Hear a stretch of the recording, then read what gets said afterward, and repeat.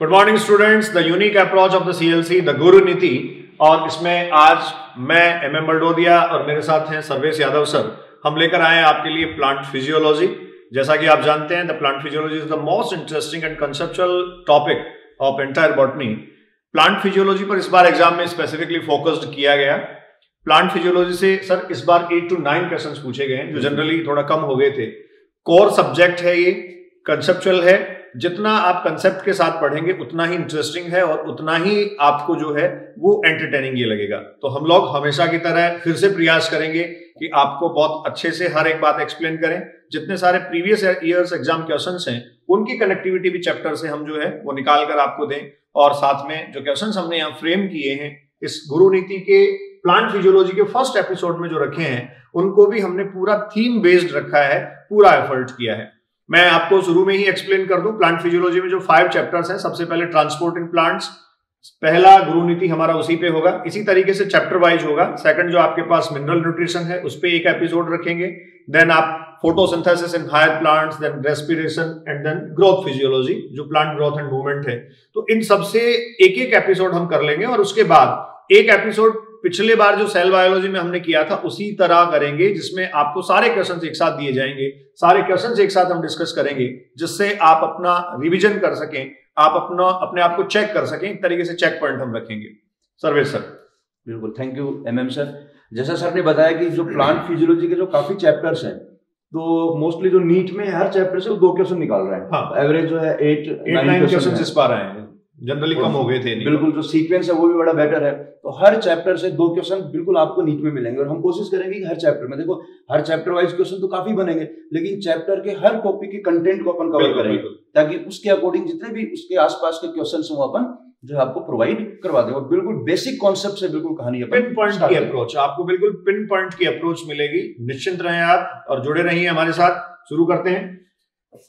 देखिए सबसे पहले क्वेश्चन आपके पास है if a plant cell is placed in deionized water clear the water potential of the cell becomes तो सर, सबसे पहले मैं वाटर पोटेंशियल को लिखूं यहाँ साइन डब्ल्यू से आप वाटर पोटेंशियल जानते हैं रिप्रेजेंट करते हैं। It is basically the chemical status of water in a solution कोई एक सॉल्यूशन है, और इस सॉल्यूशन में वाटर का केमिकल स्टेटस क्या है? ये ऑब्वियस है डिपेंड करेगा सर सॉल्यूट के अमाउंट पर। जितना सॉल्यूट कंटेंट आप बढ़ाते जाएँगे, उतना ही वाटर पोटेंशियल का वैल्यू डिक्रीज होता चला जाएगा। आपने बच्चों पढ़ रखा होगा प्योर वाटर जो है प्योर वाटर का वाटर पोटेंशियल ज़ीरो और मैक्सिमम होता है। तो प्योर वाटर का वाटर पोटेंशियल ज़ीरो और मैक्सिमम है। अब जितना सोल्यूट आप ऐड करेंगे, उतना ही वाटर पोटेंशियल को आप नेगेटिव वैल्यू में ले जा रहे हैं तो सॉल्यूशन का वाटर पोटेंशियल ऑलवेज नेगेटिव होता है। बिल्कुल। सर थोड़ा सा इस पे फोकस करें हम। बिल्कुल इसने बात बात की है किसकी? प्लांट सेल की। उसने बोला प्लांट सेल को आप अगर डीआयोनाइज वाटर में प्लेस कर देते हो तो थोड़ा डायग्राम से क्लियर कर देते हैं। ये आपकी प्लांट सेल है। ओके तो प्लांट सेल को अगर आपने डी आयोनाइज वाटर में प्लेस किया ये है आपका डी आयोनाइज वाटर और अपन कह सकते हैं सर कि डी आयोनाइज वाटर वो बिल्कुल प्योर प्योर है। उसमें जो आयन फॉर्म को रिमूव कर दिया। हाँ आयन फॉर्म्स एग्जैक्टली उसमें एग्जिस्ट करती ही नहीं है सर हम्म। इस पर विशेष ध्यान देने की ज़रूरत है मुझे जहाँ तक लगता है। क्योंकि क्वेश्चन की जो फ्रेमिंग है उसमें यही एक स्पेसिफिक पॉइंट है। बिल्कुल तो डीआईएनएस वाटर का वाटर पोटेंशियल मैक्सिमम है ज़ीरो है। बिल्कुल। जो प्लांट्स है उसके अंदर क्या है? सॉल्यूशन सॉल्यूशन ऑब्वियसली वहाँ वाटर पोटेंशियल जो है वो नेगेटिव है। पहले से। पहले से नेगेटिव है। ओके अगर आप इसको प्लेस करोगे तो ऑब्वियसली जो वाटर जो है वो अंदर की तरफ़ मूव करेगा। इनसाइड मूव करेगा। और ये बिल्कुल क्लियर है वाटर मूव सर कह रहे हैं आउटर सॉल्यूशन से इनसाइड मूव करेगा। और एग्जैक्टली इससे सर एक डायरेक्शन भी हम यहाँ से डिटेक्ट कर पाए। ज़ीरो है और उधर आपने कहा वाटर पोटेंशियल नेगेटिव है सो वाटर पोटेंशियल के अकॉर्डिंग अगर डायरेक्शन हम देखें तो आप कहिए always high water potential value to low water potential value that is endosmosis endosmosis हो रहा है। हाई वाटर पोटेंशियल से लो वाटर पोटेंशियल जैसे वाटर अंदर एंटर करेगा तो आप समझ सकते हो जो वाटर पोटेंशियल है वो इंक्रीज होगा। इंक्रीज होगा। इंक्रीज होगा तो अपन बोल सकते हैं ऑप्शन के अकॉर्डिंग कि पहले नेगेटिव था तो लेस नेगेटिव हाँ। More negative to less negative increase को रिप्रेजेंट कर बिल्कुल इंक्रीज को रिप्रेजेंट कर रहा है तो अब ऑप्शंस पढ़ लेते हैं। देखिए मोर पॉजिटिव होने की कोई पॉसिबिलिटी नहीं है, क्योंकि सेल में सर ने जैसा कहा सॉल्यूशन है नेगेटिव पहले से था। मोर नेगेटिव था, उसको आप लेस नेगेटिव कर सकते हैं। तो ये सेकंड ऑप्शन हमारे पास है लेस नेगेटिव सर ये हो जाएगा। रिमेन कांस्टेंट कोई मतलब इसका नहीं है, और एक्सट्रीमली पॉजिटिव तो ये पॉजिटिव वाले रेफरेंस फ़र्स्ट और फोर्थ तो आप डायरेक्टली रिजेक्ट कर सकते हैं। दो ऑप्शन आपके पास बचे हैं। रिमेन कांस्टेंट वो कभी नहीं होगा। मूवमेंट हो रहा है वाटर का so exactly the answer will be the less negative बिल्कुल देखो क्वेश्चन छोटा सा है लेकिन इसके पीछे काफ़ी कॉन्सेप्ट हाँ, काफ़ी सारे हर चीज़ क्लियर होनी सर इस पूरे पेपर में हमने ऐसे ही एफर्ट्स किए हैं कि जितने सारे क्वेश्चन उनके साथ बहुत सारी बातें आपको बताई जाए। तो बच्चों वाटर पोटेंशियल के बारे में आपको सबसे पहले क्लियर होना चाहिए। Water potential is exactly the chemical status of water in a solution water की केमिकल पोजीशन कंडीशन क्या है उसका स्टेटस क्या है ये वाटर पोटेंशियल को बताता है। Next space between cell wall and plasma membrane in plasmolysed cell is occupied तो सर थोड़ा सा पहले प्लाज्मोलाइज्ड सेल पे फोकस कर दें बिल्कुल। तो क्वेश्चन में बच्चे को क्या है कनेक्टिविटी यहाँ देखो अगर अपन रिप्रेजेंट करें तो अगर यहाँ एक सॉल्यूशन है जी। जिसमें कंसंट्रेशन बहुत ज़्यादा है। बिल्कुल। बोल सकते हैं ये हाइपर टोनिक है। इसमें अगर आपने सेल को प्लेस कर दिया यहाँ पर सेल को प्लेस कर देंगे तो वाटर बाहर आ जाएगा एक्जोस्मोसिस का प्रोसेस और प्लांट सेल की बात करते हैं तो ऑब्वियसली अपन बताते हैं वहाँ पर इसमें वैक्यूल है। तो पहले साइटोप्लाज्म से वाटर बाहर आएगा फिर वैक्यूल से साइटोप्लाज्म में वाटर जो है वो हाँ तो सर इसी को मैं अगर कंटिन्यू करूँ आगे बढ़ाऊं। ये आप कह रहे हैं सेल वॉल है। ये सेल मेम्ब्रेन जो होगी वो ऐसे श्रिंक होना शुरू होगी बिल्कुल। कॉर्नर से कॉर्नर से श्रिंक होना पहले शुरू होगी और कॉर्नर से श्रिंक होगी। तो आपको सर ने एक और नई बात यहाँ बताई है ये सेल सैप है जो वैक्यूलर सैप या सेल सैप होता है इसकी कंसेंट्रेशन ऑलवेज हाई होती है और साइटोप्लाज्म की कंसेंट्रेशन लो होती है। तो वाटर कंटेंट सबसे पहले आप कह सकते हैं साइटोप्लाज्म से आउटर सॉल्यूशन में आएगा देन इससे आने लगेगा। मतलब एक टाइम ऐसा आएगा जब कंप्लीट कनेक्टिविटी बन जाएगी यहाँ से वाटर कंटेंट बाहर आने लगेगा। और इसी प्रोसेस को सर हम कह रहे हैं एक्जो ऑस्मोसिस इस एक्जो ऑस्मोसिस के प्रोसेस में अब देखो क्या हो रहा है। जैसा सर आप अभी बोल रहे थे कि किनारों पर से सिकुड़ना शुरू होगी है यहाँ से श्रिंक होना शुरू होगी तो देखो एक गैप क्रिएट होने लगा है। और एक टाइम ऐसा आएगा जब ये गैप काफ़ी ज़्यादा हो जाएगा और ये जो सेल है वो अपने प्रोटोप्लास्ट को लेकर सेंट्रलाइज हो जाएगी। ये अपने प्रोटोप्लास्ट को लेकर सेंट्रलाइज हो जाएगी। तो देखो ये बहुत परफेक्ट एक गैप सेल वॉल और सेल मेम्ब्रेन के बीच में आपको मिल जाएगा। अब सर वॉल और मेम्ब्रेन के बीच में अगर गैप बना है आपने बताया जैसा कि हाइपरटोनिक सॉल्यूशन रखा हुआ है तो ओबीएस है ये जो हाइपरटोनिक सॉल्यूशन जो सेल को प्लाज्मोलाइज कर रहा है यही ये स्पेस ऑक्यूपाई करेगा। बिल्कुल। अच्छा इसमें हम एक एक बच्चे की कोई कनेक्टिविटी और बता सकते हैं। जो सेल वॉल होती है वो कंप्लीटली परमिएबल परमिएबल होती है। बिल्कुल। तो सेल वॉल और सेल मेम्ब्रेन के बीच में जो सॉल्यूशन है वही बाहर है। सेम कोई सॉल्यूशन होगा क्योंकि आपने बताया जैसे ये परमिएबल है तो ये सॉल्यूशन बिल्कुल सेम है। सेम ऑब्वियसली सेल वॉल और सेल मेम्ब्रेन के बीच में अपन बोल सकते हैं हाइपरटोनिक सॉल्यूशन है बोल सकते हैं प्लाज्मोलाइजिंग हाँ, जो प्लाज्मोलाइसिस करवा रहा है बिल्कुल। वो जैसा सर ने शुरू में लिख दिया था तो आप कह दीजिए हाइपरटोनिक सॉल्यूशन जो होगा ये hypertonic solution in between cell wall and membrane space occupy कर लेगा। क्लियर तो ऑप्शंस में आए सर प्योर वाटर बिल्कुल नहीं हो सकता. एयर नहीं सेल सेप नहीं. प्लाज्मोलाइजिंग सॉल्यूशन जो सेल को प्लाज्मोलाइज कर रहा है वही सॉल्यूशन स्पेस ऑक्यूपाई करेगा. अच्छा सर इसमें एक कनेक्टिविटी पे हम और जा सकते हैं. एक कंडीशन ऐसी आएगी जब पूरी तरीके से मूवमेंट बंद हो जाएगा. मतलब जितना वाटर कंटेंट बाहर आना था उतना आ जाएगा. और सेल ये जो है वो हाईली स्ट्रिंग्ड हो जाएगी.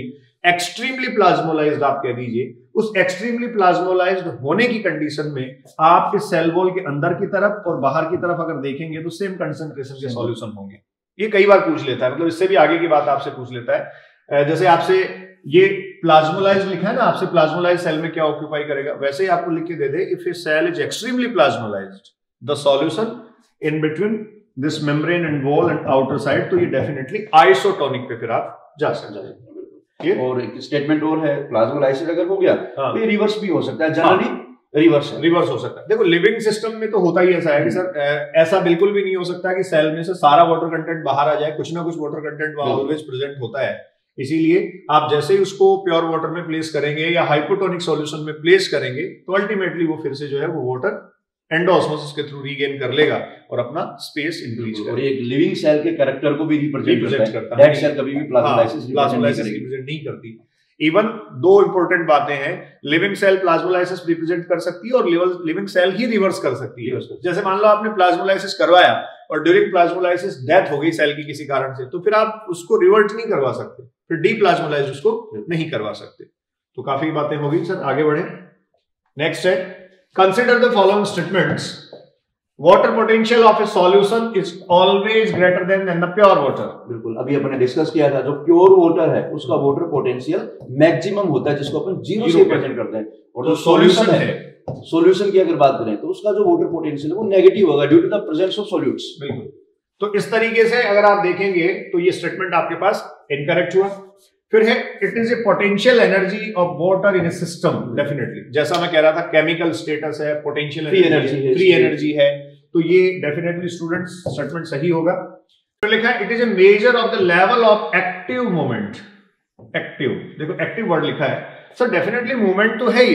आप कह रहे हैं कि हाई वाटर पोटेंशियल से लो वाटर पोटेंशियल की तरफ़ मूवमेंट होता है मींस जहाँ वाटर की कंसंट्रेशन ज़्यादा होगी जहाँ वाटर का पोटेंशियल एनर्जी ज़्यादा होगी फ्री एनर्जी ज़्यादा होगी वहाँ से कम वाले की तरफ़ मूव करेगा।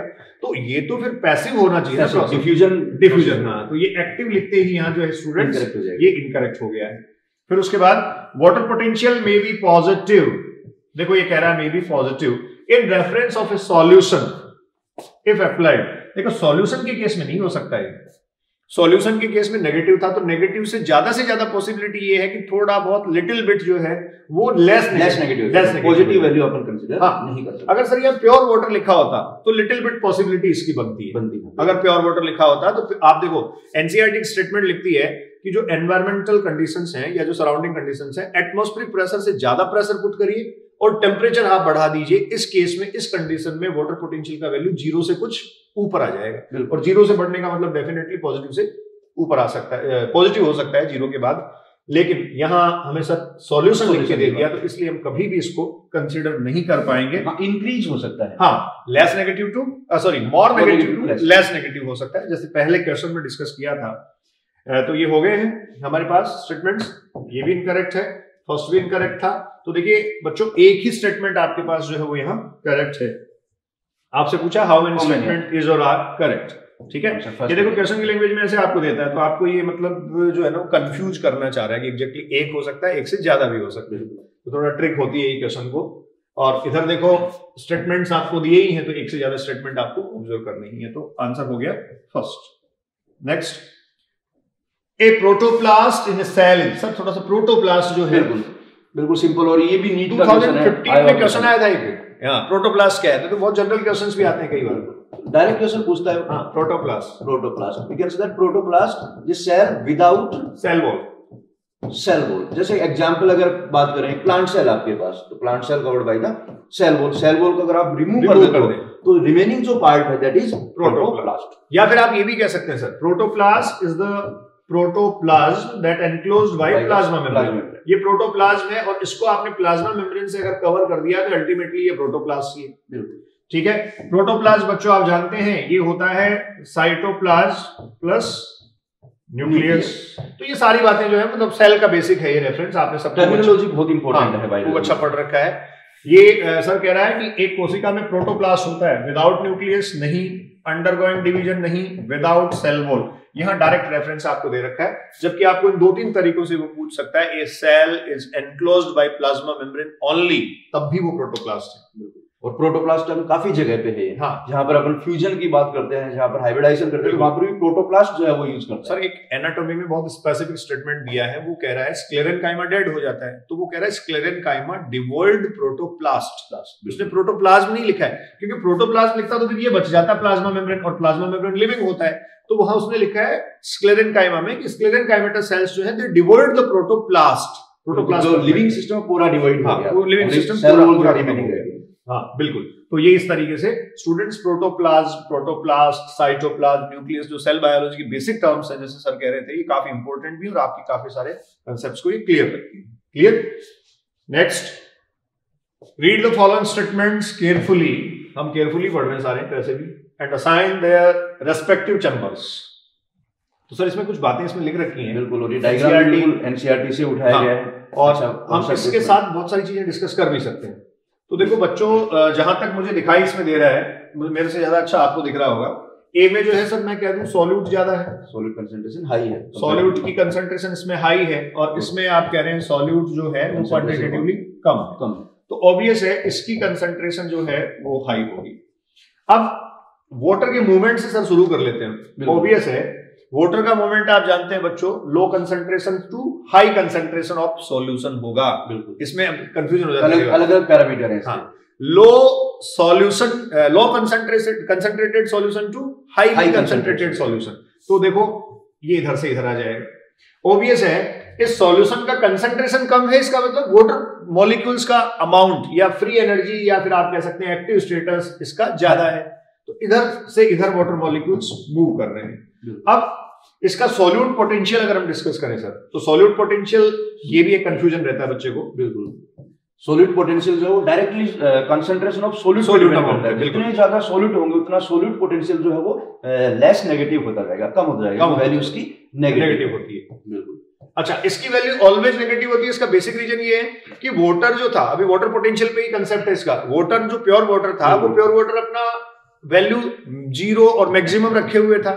जितना आपने उसमें सोल्यूट ऐड किया सोल्यूट ऐड करते ही ये जो है उसकी वैल्यू को नेगेटिव करता रहता है। तो इसलिए सोल्यूट पोटेंशियल की वैल्यू को ऑलवेज नेगेटिव कंसीडर किया जाता है। जैसे आपने बताया वोटर पोटेंशियल यहाँ मैक्सिमम है। हाँ। तो जैसे जैसे अपन सोल्यूट हाँ, जितना बढ़ाओगे जितना बढ़ाओगे। नेगेटिव होता जाएगा। ऑब्वियसली वाटर पोटेंशियल भी तो नेगेटिव हो रहा है ड्यू टू सोल्यूट हाँ इसीलिए सर इसको नेगेटिव कहा जा रहा है। सोल्यूट पोटेंशियल को नेगेटिव वैल्यू इसीलिए कंसीडर किया जाता है because it always decrease the value of water potential ठीक है?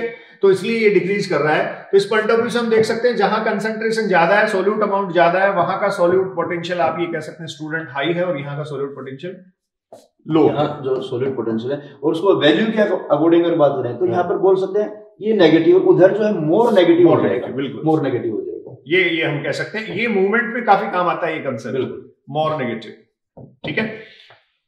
और यही बोल सकते हैं अपन वोटर पोटेंशियल भी इसके रेस्पेक्ट में सेम हो जाएगा। वोटर पोटेंशियल यहाँ पर लेस नेगेटिव है नेगेटिव है। इधर मोर नेगेटिव है। मोर नेगेटिव हो जाएगा। इधर वाटर पोटेंशियल आप कह सकते हैं। वाटर पोटेंशियल जो होगा that will be the more more negative तो वोटर पोटेंशियल के रेस्पेक्ट में फिर वोटर की डायरेक्शन जो है सिंपल हो जाएगी। हाँ अब आपको पता ही लग गया है तो। Water potential high water potential to low water potential आता है। इधर सर ने लिखा वाटर पोटेंशियल जो है लेस नेगेटिव है इधर मोर नेगेटिव है तो ऑब्वियस है हाई टू लो जो है ये मूवमेंट हो रहा है। तो कई तरीके से मूवमेंट हम डिफाइन कर सकते हैं। तो सर ऑप्शन पढ़ू मैं? ये कह रहा है solution with lower water potential solution with lower water potential कौन सा है? ये आपको बताना है। ऑब्वियस है सॉल्यूशन होगा। ये मार्क करते जाए। ए बिल्कुल। फिर कह रहा है higher solute potential with less negative value less negative value less negative जहाँ पर सॉल्यूट ज़्यादा है बस फंडा याद रखें। सॉल्यूट ज़्यादा है वहाँ लेस सॉरी जहाँ सोल्यूट कम है वहाँ लेस नेगेटिव होगा। तो यहाँ देखो अपने मेंशन भी किया है यहाँ पर सोल्यूट पोटेंशियल लेस नेगेटिव बिल्कुल तो बी मेंशन कर दूँ? फिर उसके बाद में ये कह रहा है सॉल्यूशन है जे हायर ऑस्मोटिक पोटेंशियल बिल्कुल। हायर ऑस्मोटिक पोटेंशियल वहाँ होगा जब जितना ज़्यादा से ज़्यादा वाटर जो है वो अपनी तरफ़ ले सके। मतलब एग्जैक्टली सोल्यूट अमाउंट जितना ज़्यादा प्रेजेंट होगा उतना ही वाटर डिमांड उसकी ज़्यादा होगी। तो हम कह सकते हैं एक सॉल्यूशन जो हाई ऑस्मोटिक पोटेंशियल रखता है वो क्या एक ही? बात है आप सोल्यूट पोटेंशियल बोल दो पोटेंशियल या ऑस्मोटिक पोटेंशियल एक ही बात एक ही बात है। ठीक है तो ये ए हो गया। फिर है मोर ऑस्मोटिकली एक्टिव सॉल्यूशन अब ऑस्मोटिकली एक्टिव सॉल्यूशन भी सर वही होगा जिसमें सोल्यूट का अमाउंट ज़्यादा है।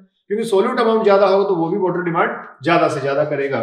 और फिर लिखा at equilibrium state flow of the water equilibrium state में वाटर का फ्लो क्या होना चाहिए? इक्विलिब्रियम स्टेट बोल दिया तो फिर वाटर फ्लो जो है वो तो नेट बिल्कुल एक तरह से नेट नेट मोमेंट ज़ीरो यहाँ हो जाएगा। तो इस तरीके से स्टूडेंट्स आप जो है हमने सारे टिक कर दिए हैं। आप जो है यहाँ यहाँ थर्ड वाले में solute has higher water solution solution है हायर वाटर पोटेंशियल बिल्कुल करेक्ट है? एक बार वापस एक्सप्लेन कर दें। जहाँ पर सोल्यूट ज़्यादा है वहाँ पर वाटर जो ऑस्मोटिक पोटेंशियल है वो ज़्यादा होगा। मोर नेगेटिव हाँ मोर वैल्यू मोर नेगेटिव तो इसने बोला है कि हायर ज़्यादा कहाँ पे? तो ऑब्वियसली इसके अकॉर्डिंग आप देख सकते हो। अपने बोला यार ने, लेस नेगेटिव वहाँ पर मोर नेगेटिव तो हायर की बात करें तो बी में हायर इसको रिप्रेजेंट करेंगे। बी में हो जाएगा। बी में हो जाएगा।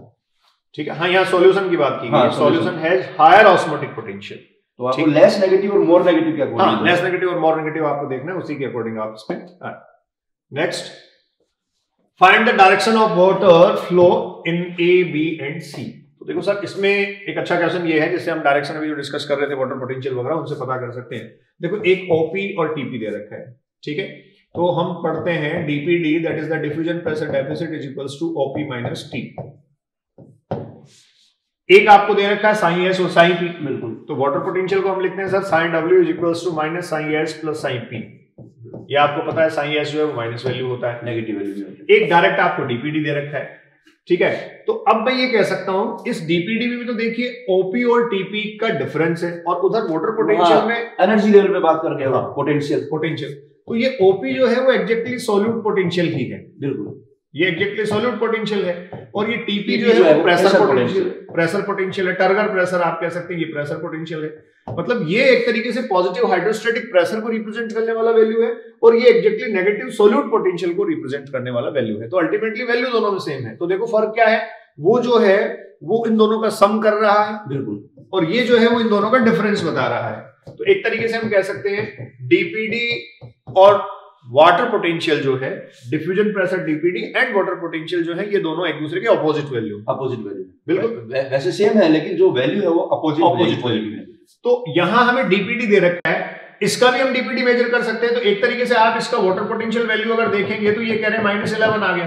बिल्कुल। अब माइनस इलेवन आ गया तो डीपीडी जो है वो आप ये कह रहे हैं इसके ऑपोजिट है तो इलेवन हो जाएगा वो। बिल्कुल इलेवन हो जाएगा। इस केस में अगर हम देखें तो डीपीडी आप कहेंगे स्टूडेंट्स थ्री हो जाएगा और इस केस में आप देखें तो एट हो जाएगा। अब आप वाटर पोटेंशियल के अकॉर्डिंग जाएँ चाहे डीपीडी के अकॉर्डिंग जाएँ।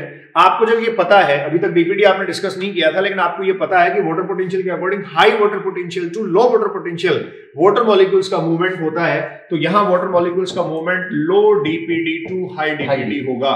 Low DPD to high DPD होगा। अब low DPD to high DPD movement होगा तो देखिए सबसे कम डीपीडी है सेल सी का। तो सी से सर ए में भी वाटर जाएगा क्योंकि इसका एट है और इसका इलेवन है बी में भी जाएगा। ठीक है? इसी तरीके से लो टू हाई ए से बी में जाएगा। तो आप ऐसा एक ऑप्शन देखें जिसमें सेल सी जो है वो दोनों को दे रही हो। सी दोनों को दे रहा है सर उसमें।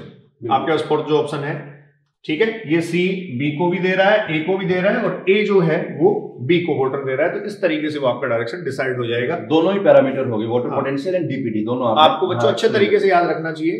Molecule water molecules will always move according to the concentration gradient और इसमें वाटर पोटेंशियल की अगर हम बात करें सर तो high water potential to low water potential DPD की अगर हम बात करें low DPD to low DPD to high DPD represent demand of water हाँ डिमांड सेल की जो डिमांड डीपीडी को मतलब डीपीडी के चक्कर में ज़्यादा कंफ्यूज होने की ज़रूरत नहीं सीधा याद रखने का तरीका जो सर ने एक लाइन बोली है ना DPD is exactly the demand of water thrust of cell जित अब अब थ्रस्ट कब बढ़ेगी? जितना सोल्यूट उसमें बढ़ेगा उतनी उसकी थ्रस्ट बढ़ेगी. तो डीपीडी डिमांड ऑफ़ वाटर है उससे आप उसको याद रख सकते हैं. तो डीपीडी तो है डिमांड और psi W water potential exactly पहले से जो प्रेजेंट है वाटर का स्टेटस है ठीक है? तो इस तरीके से ये आपके पास इसका डायरेक्शन हो गया। Next the osmotic parameter determinate determining the flow of water from one cell to another बिल्कुल। ऑस्मोटिक पैरामीटर की बात कर रहे हैं। हाँ ऑस्मोटिक पैरामीटर अभी डिस्कस किया अभी जो सारी बातें हमने डिस्कस की तो देखिए ये कह रहा है कि कौन सा एक कोशिका से अन्य कोशिका में जल के प्रवाह को निर्धारित करने वाला परासरणीय मानक क्या है?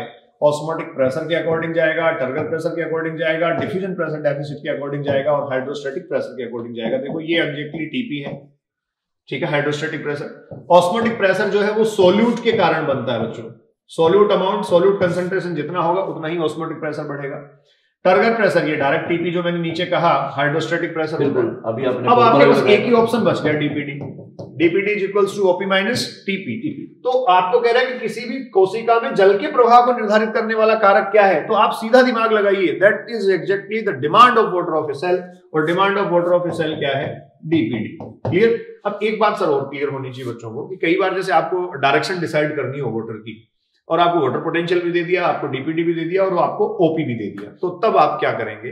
तो सबसे पहले आपको वाटर पोटेंशियल लेना चाहिए। बेस्ट पैरामीटर जो है एनर्जी लेवल पे जो है हाँ एनर्जी लेवल पे है और मोस्ट रिसेंट भी है मोस्ट एक्सेप्टेड भी है। तो बच्चों सबसे पहले डायरेक्शन डिसाइड अगर आपको करनी हो तो सबसे पहले आप वाटर पोटेंशियल वैल्यू लें।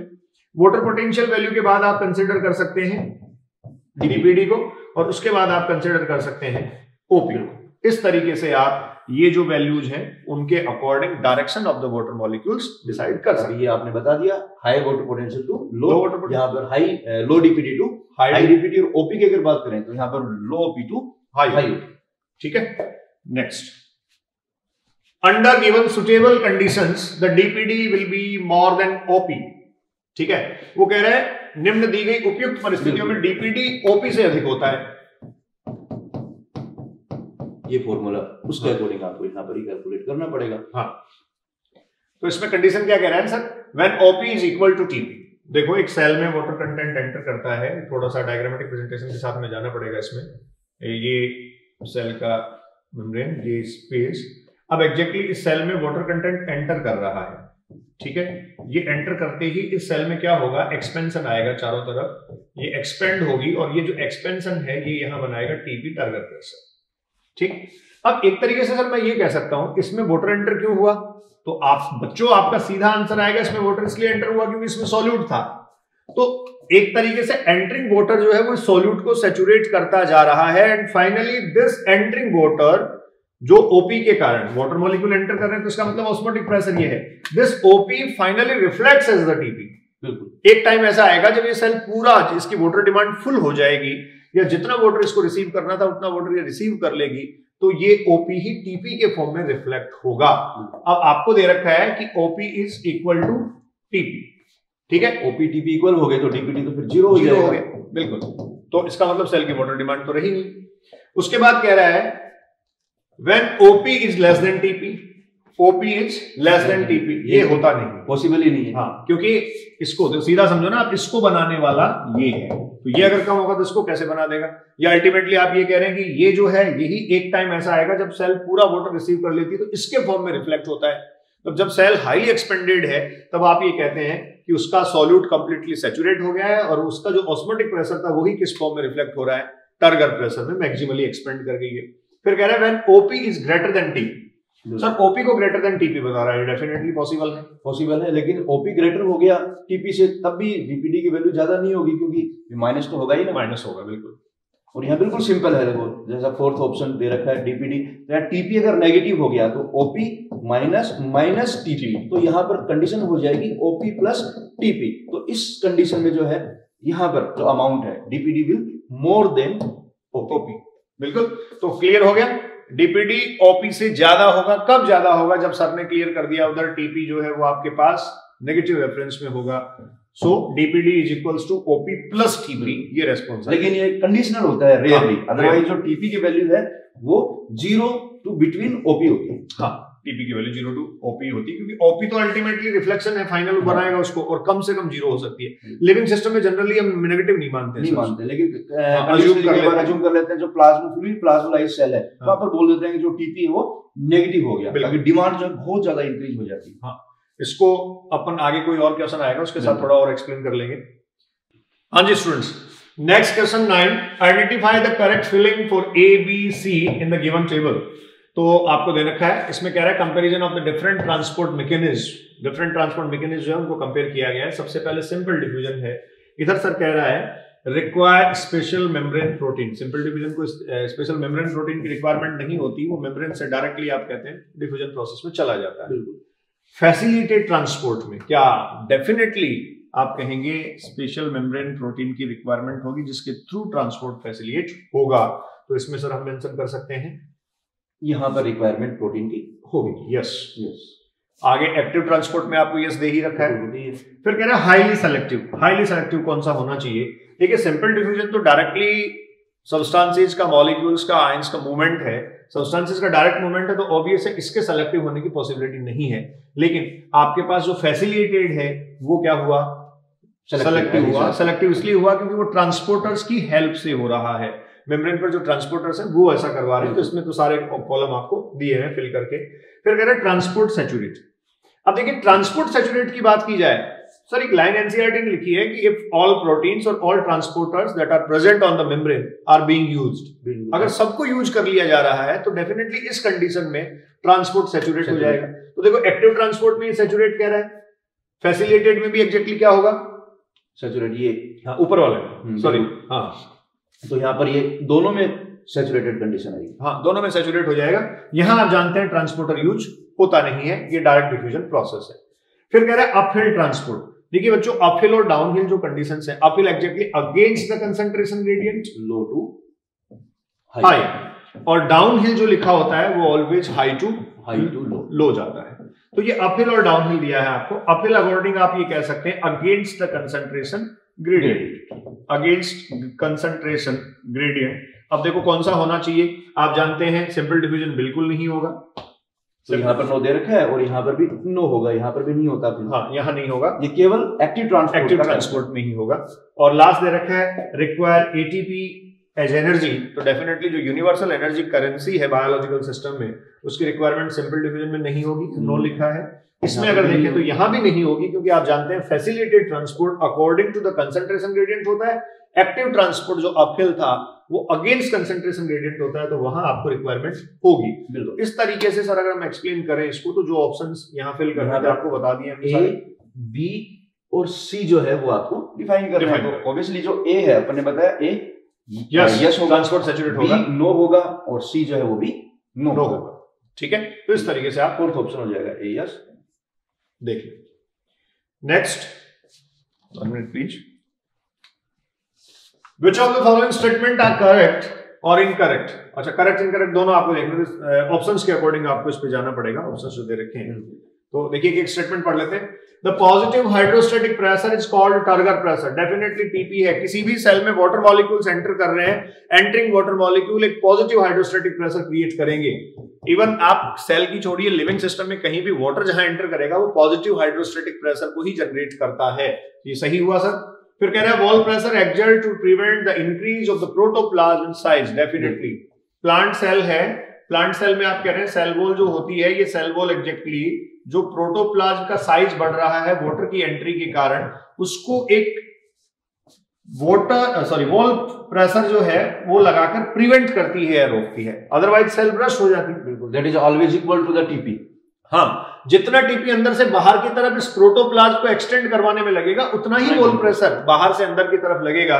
तो सर ने अच्छी बात और बताई है TP is equals to W W फिर उसके बाद diffusion is more rapid in liquids than gases definitely incorrect हो जाएगा। इसका कोई लॉजिक नहीं है। Diffusion of water through a semi permeable membrane is called as imbibition imbibition लिखते ही वहाँ गलत हो गया। डिफ्यूजन ऑफ़ वाटर ऑस्मोसिस होना चाहिए था। इम्बिबिशन तो आप जानते हैं किसी भी सॉलिड कॉलोडल सब्सटेंस के साथ आप कह सकते हैं एडजॉप्शन एडजॉप्शन एक्जेक्टली मॉलिक्यूल्स फिर कह रहे हैं osmosis is movement of substances which takes place along a diffusion gradient. Osmosis is the movement of substances which takes place along a diffusion gradient. बिल्कुल ऑस्मोसिस को डिफाइन देखो ऊपर वाला statement जो उसके अकॉर्डिंग अपन कर सकते हैं। Diffusion of water through the SPM SPM semi permeable membrane according to the concentration gradient that is osmosis ठीक है। यहाँ पर एसपीएम को इन्होंने डिस्कस नहीं किया। था विदाउट एसपीएम लिखा हुआ नहीं है। अपन हाँ। देखिए सर मोमेंट ऑफ़ सब्सटेंसेस तक तो ठीक था सब्सटेंस तो वाटर भी हो सकता है। फिर कह रहा है which takes place along a diffusion gradient लेकिन डिफ्यूजन ग्रेडियंट के अकॉर्डिंग जाएगा बीच में सेमी परमेबल मेम्ब्रेन होनी चाहिए। A specific type of diffusion is osmosis that always takes place across the biological membrane और semi permeable osmosis living process है। हाँ लिविंग प्रोसेस है। इसलिए हम इसको यहाँ जो है वो रिजेक्ट कर सकते हैं। तो हमारे पास ये देखिए फ़र्स्ट करेक्ट था सेकंड करेक्ट था। थर्ड इनकरेक्ट था फोर्थ इनकरेक्ट था और ये फिफ्थ भी इनकरेक्ट हो गया। फ़र्स्ट सेकंड करेक्ट हाँ तो आप इस हिसाब से स्टूडेंट्स इसको मैच कर लें। Next which of the following statement is true regarding the phenomenon of osmosis osmosis के फिनोमिनन के रिगार्डिंग जो है वो सही क्या है? It is movement of solvent definitely it is the movement of solvent यही इंपॉर्टेंट बात है इसमें। Across a permeable membrane permeable semi permeable semi permeable होना चाहिए। यहाँ पर ये इनकरेक्ट हो जाएगा। देखिए परमिएबल ऑलवेज परमिएबिलिटी तो सेल वॉल रिप्रेजेंट करती है या जो डेड स्ट्रक्चर्स हैं बेसिकली वो करती हैं। जो लिविंग होगी वो चेक करेगी डेफिनेटली किसी भी कंटेंट को अक्रॉस ले जाने से पहले। It is movement of solution from semi permeable membrane देखिए यहाँ लिखा है सॉल्यूशन इनकरेक्ट इनकरेक्ट हो गया। It is movement of solvent ये ठीक लिखा है from higher concentration solution towards the lower concentration solution when two are separated by a semi permeable membrane बाकी सब तो सर इसमें सही लिखा है लेकिन ये कह रहा है movement from higher concentration higher concentration to lower concentration तो ये एग्जैक्टली इनकरेक्ट हो गया। देखिए वाटर जहाँ भी फ्लो करेगा ऑलवेज अपनी कंसंट्रेशन ग्रेडियंट के अकॉर्डिंग ही फ्लो करेगा। ये नेचुरल है। फिर कह रहा है it is movement of solvent ठीक है यहाँ तक from solution of lower concentration ये सही हो गया सर। लॉर कंसेंट्रेशन से हायर कंसेंट्रेशन की तरफ़ जा रहा है। अब देखिए सॉल्यूशन की कंसेंट्रेशन लॉर है तो ऑब्वियस है वाटर मॉलिक्यूल्स वहाँ ज़्यादा है। फ्री एनर्जी उस पर्टिकुलर सॉल्यूशन की ज़्यादा है। वाटर पोटेंशियल उसका ज़्यादा है। कई तरीकों से आप उसको जज कर सकते हैं। तो सर आंसर हम टिक करें। फोर्थ इसमें करेक्ट हो जाएगा। तो यहाँ ऑस्मोसिस की काफ़ी डेफिनेशन हो सकती है हाँ, मेरे ख्याल से। ऑस्मोसिस को बहुत अलग अलग डिफाइन आप कर सकते हैं। फिर कह रहा है if a pressure greater than the atmospheric pressure is applied to a solution देखिए वो कह रहा है प्रेशर जो है वो एटमॉस्फेरिक प्रेशर से ज़्यादा आप किसी सॉल्यूशन पे अप्लाई कर दो तो क्या हो सकता है वाटर पोटेंशियल तो थोड़ा सा इसको एक ग्राफिकल प्रेजेंटेशन से हम डिटेक्ट कर सकते हैं। जैसे स्टूडेंट्स इसकी स्केलिंग कर ले हम ये ज़ीरो इधर हम पॉजिटिव वैल्यू देख लें और इधर हम नेगेटिव वैल्यू देख लें। तो यहाँ अगर मैं वर्ड लिखता हूँ सॉल्यूशन ऑब्वियस है सॉल्यूशन लिखते ही आप ये कह देंगे कि सॉल्यूशन का वाटर पोटेंशियल वाटर पोटेंशियल को हम चेक कर रहे हैं यार सॉल्यूशन का वाटर पोटेंशियल आप कहेंगे नेगेटिव है। ये ज़ीरो मैंने जहाँ लिखा है सर यहाँ है प्योर प्योर वाटर अब इसमें अगर आप सोल्यूट ऐड कर रहे हैं आपने किया सोल्यूट ऐड किया तो सोल्यूट ऐड करते ही ये नेगेटिव होता जा रहा है और नेगेटिव होता जाएगा और नेगेटिव होता चला जाएगा। ठीक है? ये जो कंडीशन है psi W is equals to zero ये एटमोस्फेरिक प्रेशर पर है। एनसीआरटी ने स्टेटमेंट लिखा है। Standard pressure standard pressure temperature pressure तो ठीक है सर एटमोस्फेरिक प्रेशर और हम कह सकते हैं ये जो है वो स्टैंडर्ड टेम्परेचर पर ये है। अब ये दोनों वैल्यू अगर आप थोड़ा सा बढ़ा दें जैसे इस लेवल पे आप आओ यहाँ अगर हम थोड़ा सा इसका टेम्परेचर इंक्रीज कर दें तो टेम्परेचर इंक्रीज करने का मतलब ये हुआ कि यहाँ पर्टिकुलर इस वाटर कंटेंट की काइनेटिक एनर्जी जो है वो इंक्रीज होगी। और साथ में आप प्रेशर भी इस पर अप्लाई कर दें। Pressure more than atmospheric pressure atmospheric pressure पे तो पहले ही रखा हुआ है। Pressure more than the atmospheric pressure अगर आप इसमें रख दें तो इसके वाटर पोटेंशियल के ज़ीरो से लिटिल बिट पॉजिटिव होने की पॉसिबिलिटी है। सॉल्यूशन के केस में जैसा सर हम पहले डिस्कस कर चुके हैं less negative to sorry more negative to less negative होने की पॉसिबिलिटी है। जैसे सॉल्यूशन पे आप ये दोनों कंडीशन अप्लाई करो तो ये यहाँ था मान लीजिए। इस नेगेटिव स्टेट पे था तो थोड़ा बहुत ये क्या हो सकता है? इंक्रीज हो इंक्रीज हो सकता है। पॉजिटिव कभी नहीं होगा। तो आप ये कहेंगे the water potential of a solution will become more negative to less, less negative. अब increase. हाँ। अब लेस नेगेटिव आ गया तो वाटर पोटेंशियल एग्जैक्टली क्या हो रहा है? इंक्रीज तो फ़र्स्ट ही ऑप्शन पे सर चले जाएँगे? बिल्कुल। इसके अलावा बाकी सब कोई रेलिवेंट नहीं है। सो एग्जैक्टली एटमोस्फिक प्रेशर से ज़्यादा प्रेशर अप्लाई करने पर और स्टैंडर्ड टेम्परेचर से ज़्यादा टेम्परेचर बढ़ाने पर वाटर पोटेंशियल का वैल्यू लिटिल बिट इंक्रीज होता है। अब चाहे वो सॉल्यूशन के केस में आप पढ़ रहे हो चाहे आप प्योर वाटर के केस में पढ़ रहे हो। क्लियर हाँ जी students question number thirteen most of the water taken by the plants in आपसे पूछा जा रहा है कि जो प्लांट्स वाटर एब्जॉर्ब करते हैं एब्जॉर्ब्ड वाटर का क्या किया जाता है? तो सर देखो फ़र्स्ट ऑप्शन में लिखा है split during the photosynthesis as a source of electron and hydrogen definitely statement तो सही है, लेकिन जो प्लांट वाटर एब्जॉर्ब करते हैं, उसका मैक्सिमम यूज़ इसमें नहीं करते। तो इसके लिए मैं कहना चाहूँगा ये सर जितना प्लांट वाटर एब्जॉर्ब करता है उसका one two two percent only metabolic activities में यूज़ करता है। तो क्या इसको हम मेटाबॉलिक एक्टिविटी में काउंट कर सकते हैं?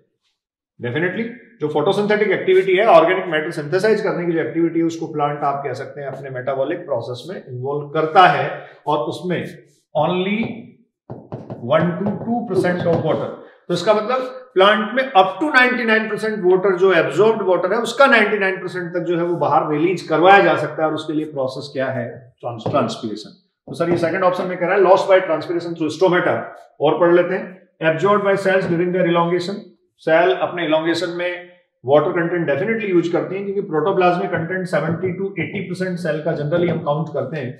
बट वो बहुत सारा वाटर कंटेंट वहाँ से यूटिलाइज नहीं करेगी। ये भी एग्जैक्टली मेटाबॉलिक जो रेगुलेशन है, उसी में आ जाएगा।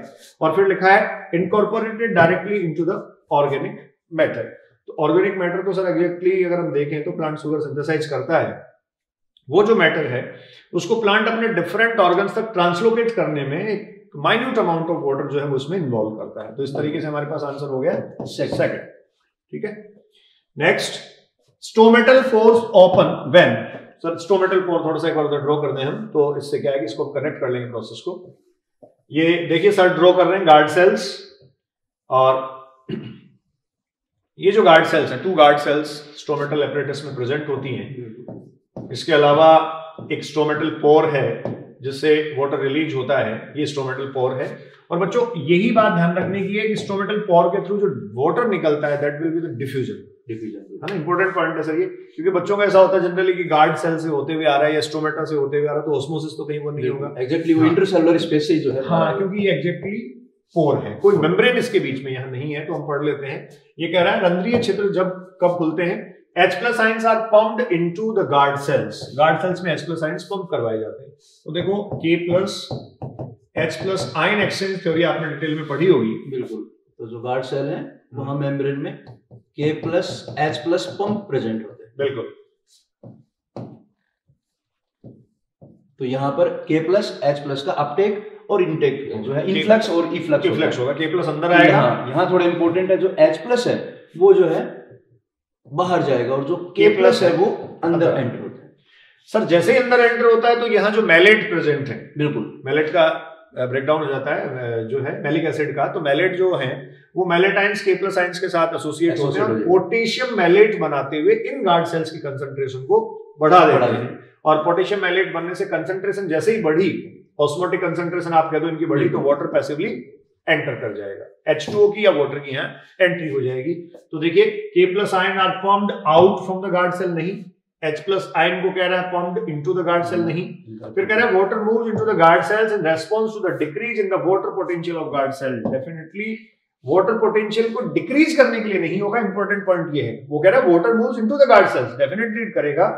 In response to the decrease in the water potential of guard cells water की एंट्री होने से तो गार्ड सेल्स का जो वाटर पोटेंशियल है वो इंक्रीज होना चाहिए। तो लास्ट ऑप्शन हम पढ़ लेते हैं। Water moves out of the guard cells in response to a decrease in water potential of guard cells बिल्कुल ये स्टेटमेंट रिवर्स हो गए। हाँ। जो थर्ड स्टेटमेंट है water move into the guard guard cell तो वाटर गार्ड सेल में enter करेगा। एंटर करेगा। और उसका जो उसके लिए रेस्पॉन्सिबल कौन है? यहाँ पर जैसे आपने बताया अभी मेलेट पोटेशियम जो मेलेट बनेगा उससे यहाँ पर वाटर पोटेंशियल जो है वो डिक्रीज हो जाता है। क्लियर तो तभी वाटर यहाँ पर अंदर एंटर करेगा। तो वो वाटर पोटेंशियल जो डिक्रीज हुआ है उसको वापस से इंक्रीज करने करने इन करने के लिए वाटर एंटर उस एस्पेक्ट में जो है तो आंसर थर्ड हो जाएगा। Clear next during symplastic movement the water travels through the cytoplasm of a cell. This intracellular transport is facilitated by. तो देखिए इंट्रासेलुलर और इंटरसेलुलर ट्रांसपोर्ट हम देखें, सर, थोड़ा सा एक इंटरसेलुलर फॉर्म जो है वो यहाँ मैं डिज़ाइन कर दूँ। अगर हम देखें तो ये देखिए, किसी भी प्लांट का जो एडजॉइनिंग फॉर्म है एडजॉइनिंग सेल ए सेल और इसको हम बी सेल काउंट कर लेते हैं। ये बीच में हम कह देते हैं, इसमें मिडिल लेमिला प्रेजेंट है। क्लियर ये मेम्ब्रेन एग्जिस्टेंस में होगी तो ये आप कह सकते हैं साइटोप्लाज्मिक ब्रिज एक होता है और दोनों तरफ़ जो मूवमेंट है सबस्टांसेज का ये है प्लाज्मोडेस्मेटा क्लियर तो यहाँ देखो स्टूडेंट्स एक इंपॉर्टेंट पॉइंट ये है। सर यहाँ इंट्रासेलुलर हमें लिख के दिया है। इंट्रासेलुलर मोमेंट तो विद इन सेल मोमेंट होता है। अगर यहाँ इंटरसेलुलर लिखा जाता तो ये मोर परफेक्ट होता। कब? जब मैं प्लाज्मोडेस्मेटा के केस में बात कर रहा हूँ। बिल्कुल। लेकिन साइटोप्लाज्मिक ब्रिज जब बन जाता है तो दोनों सेल्स के बीच एक कनेक्टिविटी स्टेब्लिश हो जाती है साइटोप्लाज्मिक कनेक्टिविटी इसलिए आप ये कहेंगे कि जो साइटोप्लाज्मिक कनेक्टिविटी स्टेब्लिश करने वाला ये जो प्लाज्मोडेस्मेटा है ये प्लाज्मोडेस्मेटा सिम प्लास्टिक पाथ को रिप्रेजेंट करता है। लिविंग पाथवे को लिविंग पाथवे को ये सिम प्लास्टिक पाथवे को रिप्रेजेंट करता है। सर ये भी बच्चों को हम थोड़ा सा बता दें कि जहाँ प्लाज्मोडेस्मेटा प्रेजेंट होगा वहाँ प्राइमरी सेल वॉल नहीं होगी। जैसे ए सेल का प्राइमरी सेल वॉल नहीं होगा देन दोनों का कॉमन मिडिल लेमिला नहीं होगा और बी सेल का भी प्राइमरी सेल वॉल नहीं होगा। तो primary cell wall middle lamella and primary cell wall यहाँ जो है वो एबसेंट होगा। तो ऑप्शन पे आ जाते हैं। सिंप्लास्टिक गमन के दौरान जल एक कोशिका द्रव से होते हुए परिवर्तित होता है।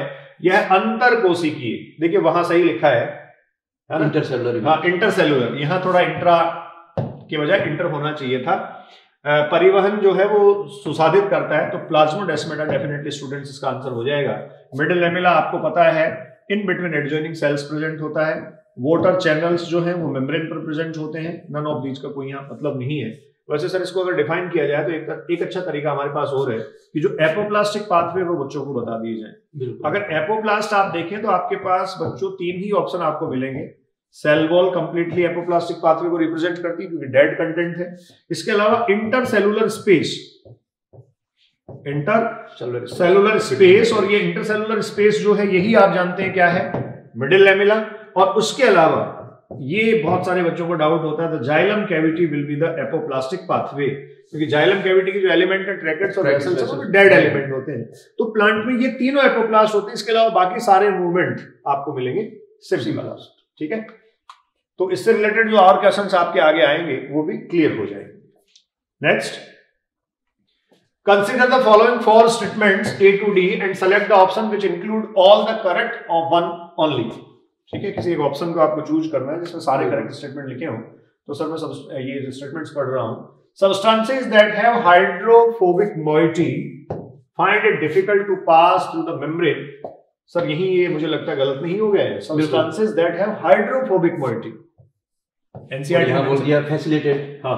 ऑब्वियसली जो हाइड्रोफिलिक हैं उनका उनको फैसिलिटेट करवाया जाना है क्योंकि हाइड्रोफोबिक मोइटी के सब्सटेंसेस तो लिपिड बाइलेट से सिंपल डिवीज़न में भी चले जाएँगे तो स्टेटमेंट इनकरेक्ट फिर कह रहा है pressure potential is usually positive, though in plant negative potential plays a major role in the water transport of its stem. बिल्कुल परफेक्ट लिखा है। देखो आ, हमने बात की थी सर कुछ देर पहले अभी कि वाटर जहाँ भी एंटर करता है एक पॉजिटिव हाइड्रोस्टेटिक प्रेशर वो क्रिएट करेगा। तो यहाँ अल्टीमेटली ये जाइलम के केस में आपको बताना चाह रहा है एक लीफ हाइपोथेटिकली मैं इसके साथ कनेक्ट कर दूँ यहाँ से ट्रांसपीरेशन में वाटर बाहर रिलीज़ हो रहा है ये वाटर ऊपर की तरफ़ अपवर्ड डायरेक्शन में जाता है असेंट ऑफ़ सेप में आप इसको पढ़ते हैं। तो देखो क्या होगा यहाँ से कंटिन्यूसली वाटर जो है वो पुल आउट किया जाएगा। अब यहाँ जो पुलिंग फोर्स है ये पुलिंग फोर्स वाटर को रिलीज़ करवा रहा है आउटसाइड एटमोस्फेयर में तो अल्टीमेटली वाटर का लॉस हो रहा है। बिल्कुल। तो ये जो पुल है this pull will call as the negative pull और इसी केस में ये लिखा हुआ है कि जो प्रेशर पोटेंशियल है वाटर की एंट्री हो रही है तो ये एग्जैक्टली पॉजिटिव होगा। दो in plants negative potential plays a major role तो जो नेगेटिव पुल है वो ही प्लांट्स में असेंट ऑफ़ सेप का जो प्रेशर प्रोसेस है सर उसमें mainly responsible Movement through the apoplast does not involve crossing the cell membrane. बिल्कुल।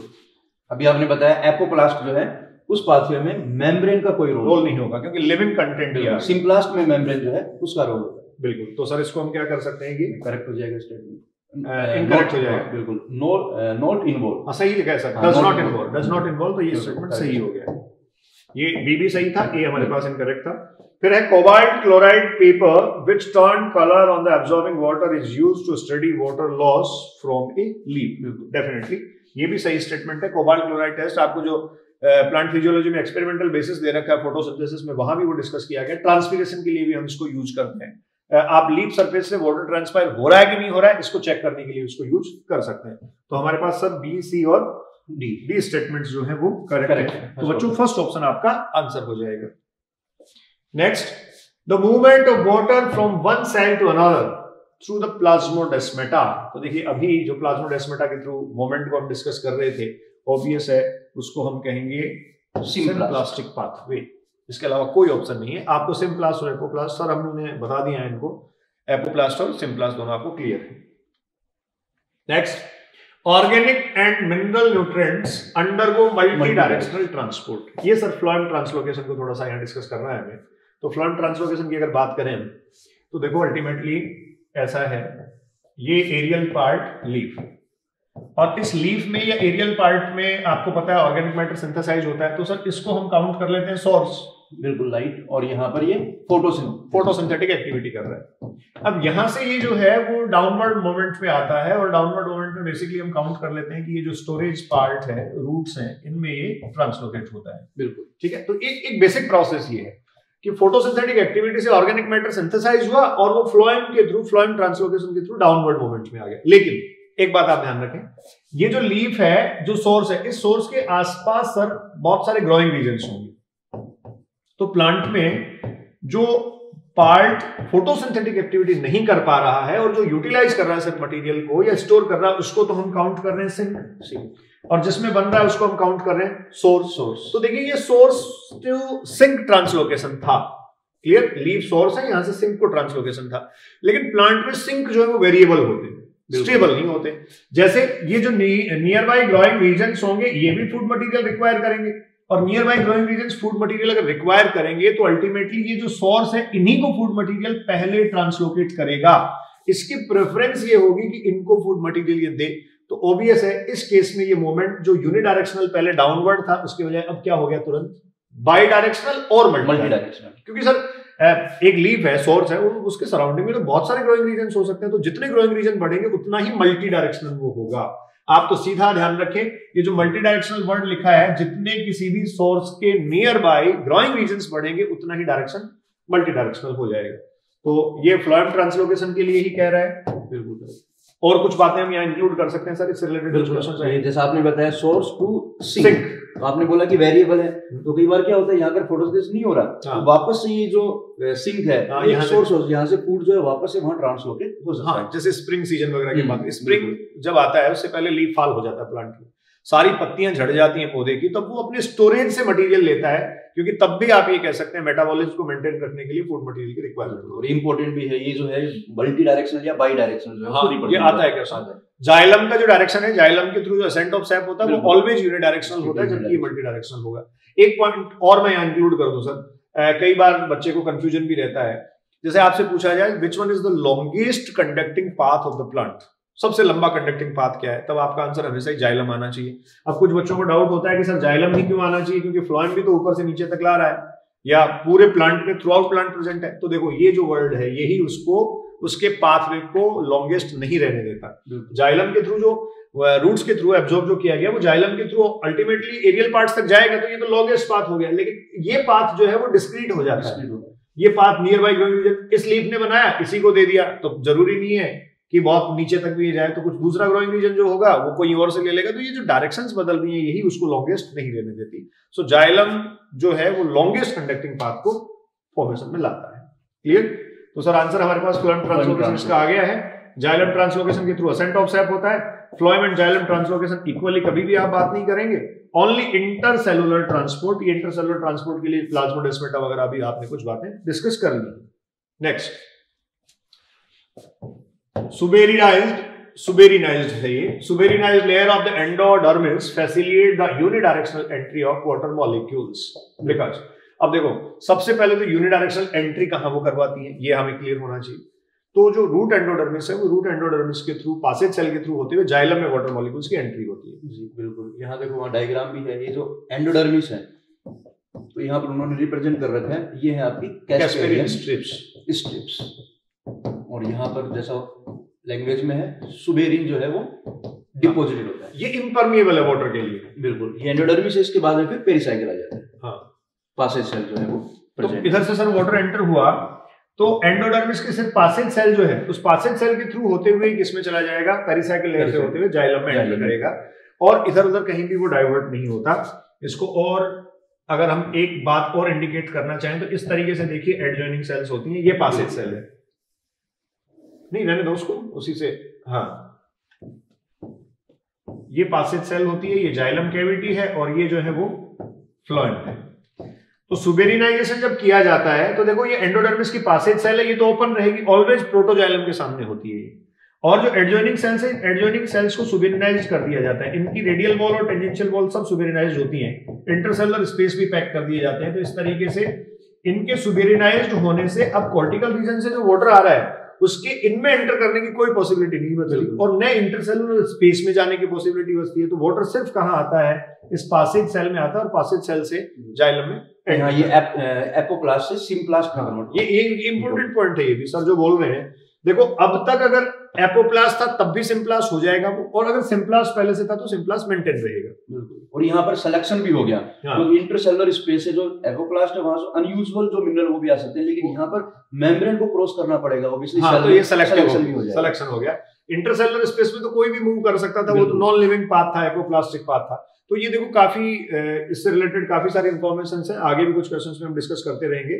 तो सर हमारे पास था suberinize of endodermis facilitate the unidirectional entry of water molecules because of the cell uh, passage cells are the only path of entry of water. यही यहाँ आपको दे दिया। Correct reference ये लिखा है thousand of passage cell present in the endodermal layer ये हम नहीं कहेंगे thousand of passage cell basically वैसे पासेज सेल का जो नंबर होता है ना वो प्रोटोजाइलम के इक्विवेलेंट होता है। बिल्कुल। क्योंकि जितने जाइलम प्रेजेंट होंगे उनके सामने उतनी पासेज सेल होंगी। ये एक बात आप ध्यान रख सकते हैं। फिर है number of passage cell is not confined confirmed हाँ ये ठीक बात है कंफर्म नहीं है। लेकिन रीजन पूछा है आपको। स्टेटमेंट सही है या गलत है ये नहीं पूछा है तो रीजन आपके पास पहले ही क्लियर हो चुका है। फिर क्या है it is a phenomenon by the input of energy energy input नहीं है। ये पैसिव प्रोसेस ही बेसिकली है। Next Pinus seed can not germinate without mycorrhiza sir बहुत इंपॉर्टेंट पॉइंट ये भी है। माइक्रोराइजल एसोसिएशन अगर हम बात करें तो हम जानते हैं roots of the higher plants and fungi का एसोसिएशन ये होता है। ठीक है? माइक्रोराइजा को सिंपली जो है हाँ। अपन रिप्रेजेंट कर भी देते हैं। जैसे यहाँ पर आ गया प्लांट प्लांट रूट और यहाँ पर फंगल जो पार्ट जो है इन दोनों के बीच में जो एसोसिएशन है बोथ गेट बेनिफिट अब एक इंपॉर्टेंट बात ये भी है ये जो माइक्रोराइजल एसोसिएशन होते हैं इसमें देखो कह रहा है Pinus seed can not germinate इसका मतलब ये एक दूसरे के बिना नहीं रह सकते। तो ये रिलेशनशिप क्या सर मैं कह सकता हूँ? ऑब्लिगेट ऑब्लिगेटरी रिलेशनशिप है ये ऑब्लिगेटरी है म्यूचुअलिज्म में आप पढ़ते हैं इकोलॉजी में भी ये आता है डाइवर्सिटी में आपको दे रखा है फिजियोलॉजी में भी है कई जगह इसकी कनेक्टिविटी है। तो माइक्रोराइजल एसोसिएशन जो है उसका प्रोटोकॉल हुआ जैसा सर ने यहाँ मेंशन कर रखा है प्लांट रूट्स या roots of the higher plants basically हम लिखते हैं एंड द फंजाई अब पाइनस सीड जर्मिनेट क्यों नहीं कर सकता? तो जैसे सर पाइनस प्लांट जहाँ प्रेजेंट है स्पेसिफिकली उस एरिया में या सरफेस एरिया पर प्लांट का सीड गिरेगा अब सीड सॉइल के कांटेक्ट में आएगा तो पहले से हाई माइक्रोराइजल एसोसिएशन वहाँ होता है और उस माइक्रोराइजल एसोसिएशन के होने के कारण मॉइस्चर और न्यूट्रिएंट्स की अवेलेबिलिटी उस सरफेस पे होती है या सरफेस सॉइल पे होती है। पाइनस सीड जो है वो मॉइस्चर एब्जॉर्ब करके फिर उसके बाद में स्वेलअप होकर अपना जर्मिनेशन शुरू कर लेता है। लेकिन इंपॉर्टेंट पॉइंट की point always fungal association Pinus के जर्मिनेटिंग सीड के रूट्स के साथ ही होगा। इसका मतलब सीडलिंग स्टेज में ही होगा। ये जो रूट बनेगी वहाँ पर ये एसोसिएशन में आएगा। हाँ। सीड के साथ नहीं आता है डायरेक्ट सीड जब तक पड़ा है क्योंकि सीड को अगर पेनिट्रेट कर, कर दिया मान लो फंजाई के हाइफी ने फंगल हाइफी ने या फंजाई के किसी फिलामेंट ने तो फिर अल्टीमेटली वो तो एक तरीके से पैरासिटिक रेफरेंस भी हो सकता है। बिल्कुल। क्योंकि फंजाई के पास न्यूट्रिशनल सप्लीमेंट बनाने के लिए तो कुछ नहीं था। तो ये जो एसोसिएशन करता है वो ऑलवेज रूट्स के साथ करता है। कई बच्चों को डाउट होता है प्रोटोकॉल इसमें कभी भी डिस्टर्ब नहीं होगा। ठीक है? तो सर हम कह रहे हैं पाइनस के बीच कवक मूल के बिना अंकुरित नहीं हो सकते यह दर्शाता है सिग्निफिकेंस ऑफ़ द न्यूट्रिएंट्स दर्शाता तो है लेकिन कंफर्म नहीं कह सकते। मैंने ऊपर मेंशन कर दिया था significance of the obligatory obligatory relationship देखिए म्यूचुअलिज्म है ये ऑब्लिगेटरी रिलेशनशिप की इंपॉर्टेंस uh, बताता है।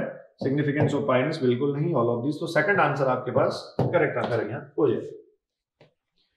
Minerals ions are frequently remobilized and specially transported from remobilization में जाते हैं। तो सर स्ट्रक्चरल नॉन स्ट्रक्चरल का रेफरेंस करके थोड़ा सा हम इनको बता सकते हैं।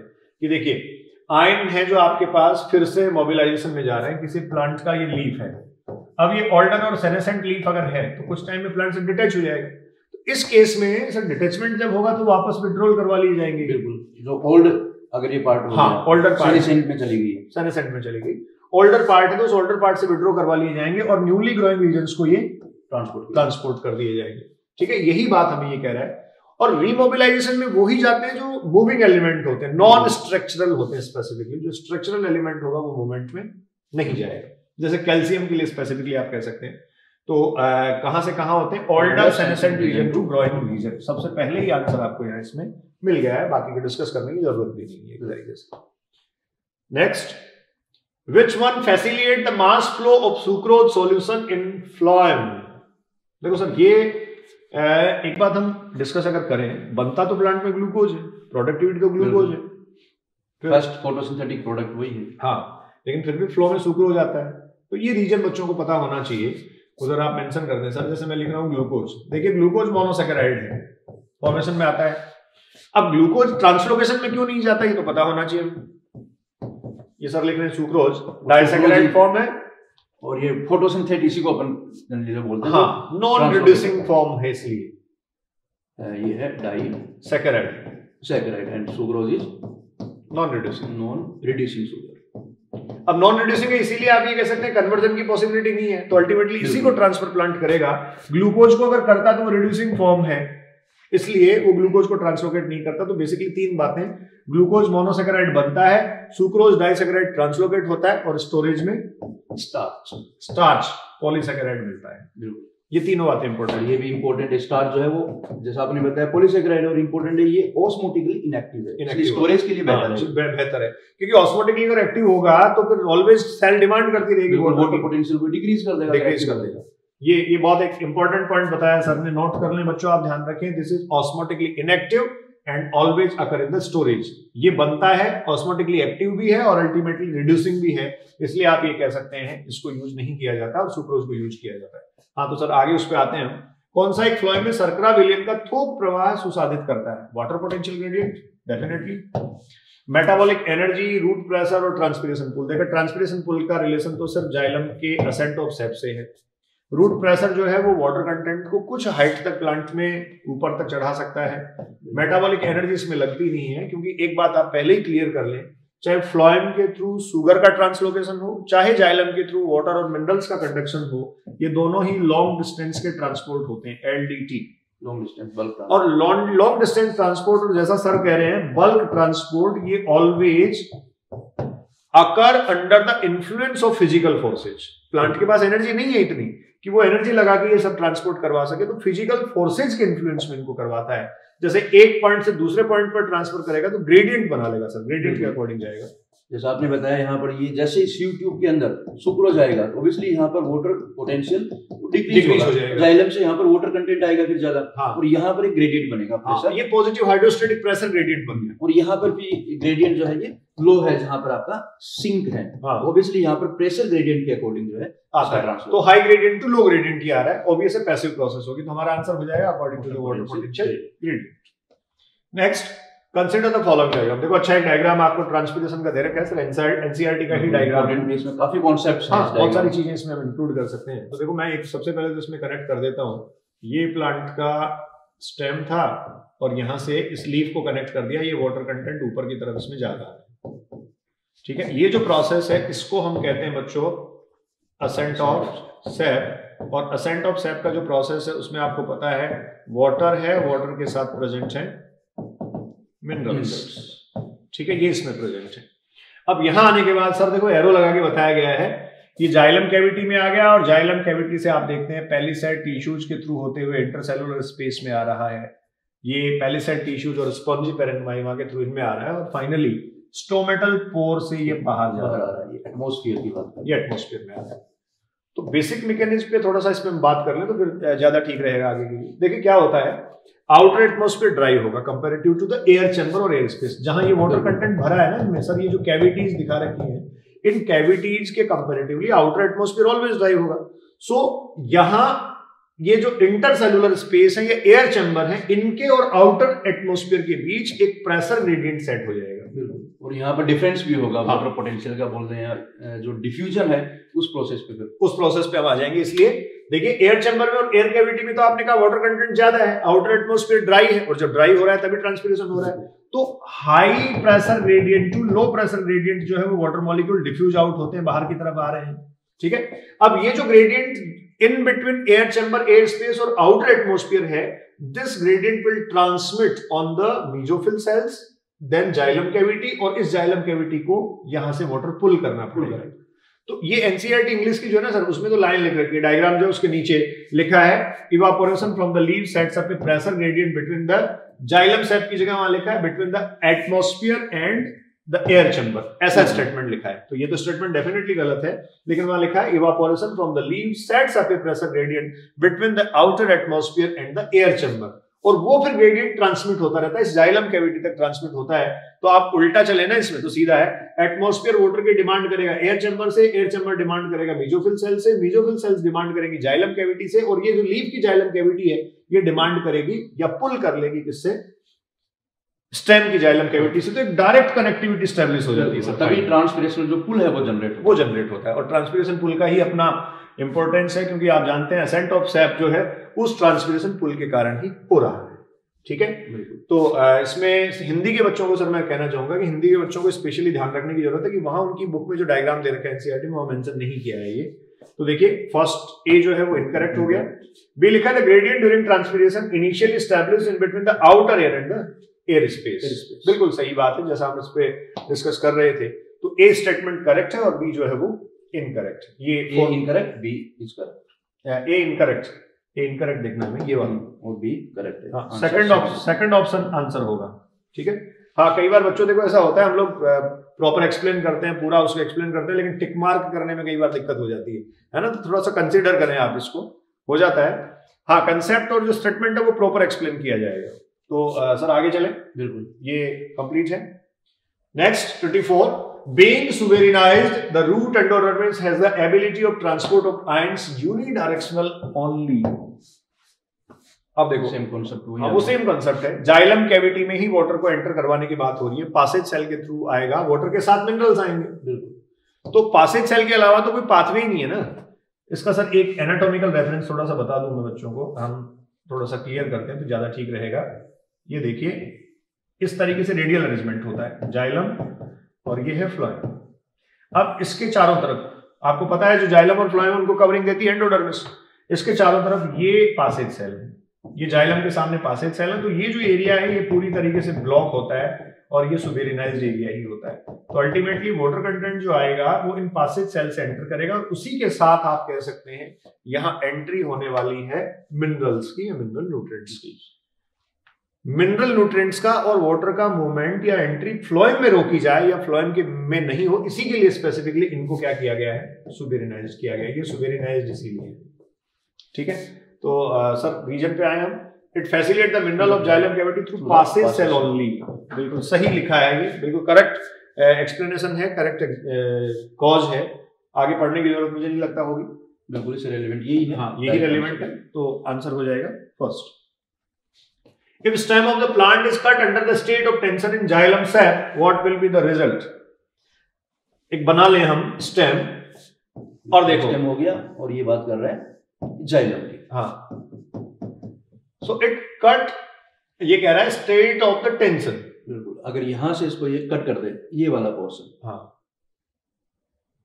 ये वाला रीजन जो है ये कटेड रीजन है। कट कर दिया गया। या फिर आप डायरेक्ट कंप्लीट कट भी लगा सकते हैं। कट लगा दिया आपने मान लीजिए। तो वो कह रहा है इस पे ध्यान देने की बात है cut under state of tension state of tension का मतलब पुल ऊपर की तरफ़ कर रहा था। पुल ऊपर की तरफ़ कर रहा है ना ट्रांसपिरेशन पुल ऊपर की तरफ़ बन रहा है। तो इस केस में क्या होगा जो कटेड पार्ट है वो पहले से पुल कर रहा था अब आपने जैसे ही कनेक्टिविटी ब्रेक की तो वो जो है वो एटमोस्फियर का या सराउंडिंग का जो भी होगा मीडियम उसको एक बार के लिए क्या कर लेगा? इंटेक में लेगा। इंटेक में लेगा सकिंग हो जाएगी। तो हाँ. जो भी पार्ट है वो एंटर एयर जो है उसमें एंटर हो जाएगी due to the transpirational force तो जो है वो ऊपर की तरफ़ जनरेट हो रहा है। तो जो भी एयर वगैरह इसके कांटेक्ट में आएगी तो जो एयर है वो हाँ इधर ट्रांसफ़र कर तो ट्रांसपिरेशन पुल के कारण ट्रांसपिरेशन पुल के कारण अल्टीमेटली जो है वो इसके अंदर एंटर कर जाएगा। तो ये कह रहा था जाइलम सैप स्प्राउट आउट नहीं होगा। फिर कह रहा है xylem sap will accumulate cut surface xylem sap accumulate भी नहीं होगा। एक्यूमुलेशन अगर आप देखें तो इस एंड पे फ्लोएम सैप का होने वाला इस एंड पे सॉरी फ्लोएम सैप का होने वाला है। क्योंकि उसका डायरेक्शन जो है वो डाउनवर्ड है। फिर कह रहा है the cut surface will form air bubble when place in air अब एयर बबल भी तब बनने चाहिए थे जब ऊपर से एयर नीचे की तरफ़ आ रही हो। जबकि हम्म। यहाँ डायरेक्शन अपवर्ड है।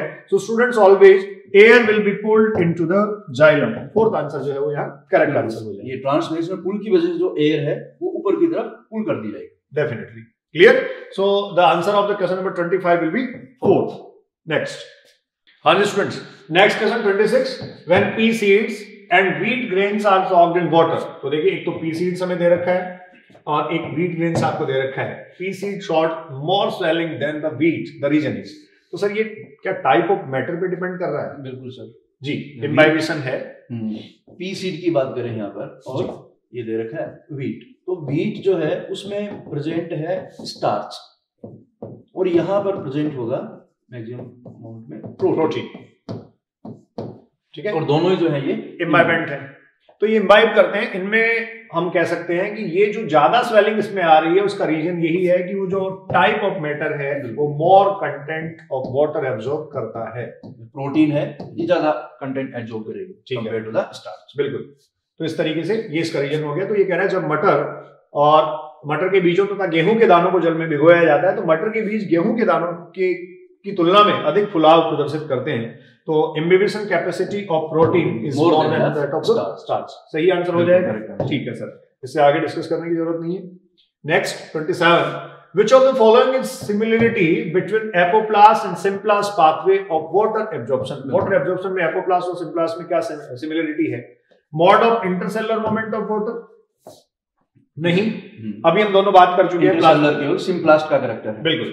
फिर है इन्वॉल्वमेंट ऑफ़ साइटोप्लाज्मिक स्ट्रीमिंग ये इंट्रासेलुलर में ही होता है साइटोप्लाज्मिक स्ट्रीमिंग का सिम्प्लास्ट का कैरेक्टर है। Rate of the water movement water movement की रेट जो है एपोप्लास्ट में फास्ट फास्ट होती है और सिम्प्लास्ट होती है। एक इवन मैक्सिमम प्लांट में वाटर का कंडक्शन जो है वो भी एपोप्लास्ट के थ्रू ही होता है। क्योंकि मूविंग वाटर मॉलिक्यूल्स को किसी तरीके का रेजिस्टेंस फेस वहाँ नहीं करना पड़ता जबकि सिम्प्लास्टिक पाथवे में बैरियर होते हैं। फिर कह रहे dependence of the movement of water on the water potential gradient definitely वो कह रहा है जो मूवमेंट है वो एक्जेक्टली वाटर पोटेंशियल ग्रेडियंट पे डिपेंड करता है चाहे एपोप्लास्टिक पाथवे हो चाहे सिम प्लास्टिक पाथवे हो। क्लियर तो हमारा आंसर हो जाएगा इसमें four next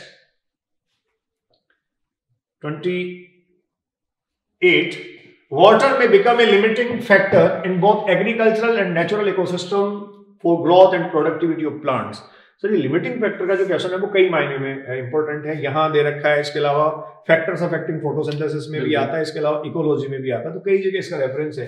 लिमिटिंग फैक्टर हो जाने का मतलब है Blackman's law of limiting factor हम पढ़ते हैं तो हम ये कहते हैं कि किसी भी बायोकेमिकल रिएक्शन को या बायोलॉजिकल प्रोसेस को अगर एक से ज़्यादा फैक्टर डील कर रहे हैं रेगुलेट कर रहे हैं तो उनमें लीस्ट टू लीस्ट जो होगा that will affect the process most वो सबसे ज़्यादा प्रोसेस को अफेक्ट करेगा।